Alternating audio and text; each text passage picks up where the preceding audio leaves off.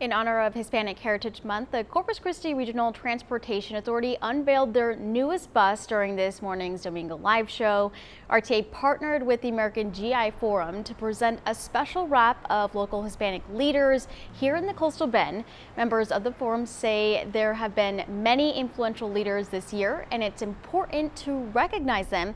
They also hope to inspire children with this bus to show them that they can also become role models as well at a young age, we want them to be familiar with who is leading our community in roles as superintendents, uh, veterans, civil rights activists, teachers, educators, uh, marketing directors. They can be anything they want if they strive for it.